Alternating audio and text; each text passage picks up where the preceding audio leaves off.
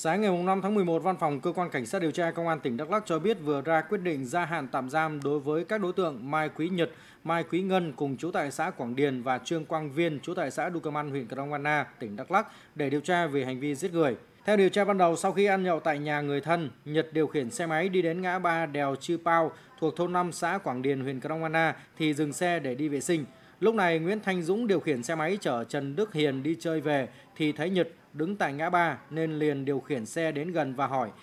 xe anh có bị làm sao không, có cần em giúp gì không. Tuy nhiên sau đó giữa hai bên đã xảy ra mâu thuẫn và đánh nhau. Nhật điện thoại cho Viên và Ngân đến đánh Hiển và Dũng làm Dũng bất tỉnh nằm gục tại chỗ, được người dân gần đó đưa đến bệnh viện cấp cứu kịp thời nên không ảnh hưởng đến tính mạng nhưng tỷ lệ thương tật là 42%.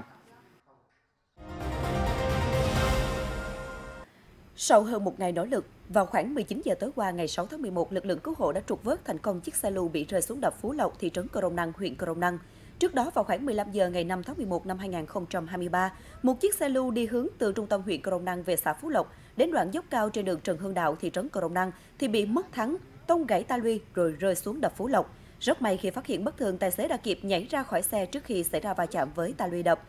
Do đập nước quá sâu nên công tác cứu hộ tốn khá nhiều thời gian, hiện vẫn chưa có thống kê về thiệt hại của vụ việc.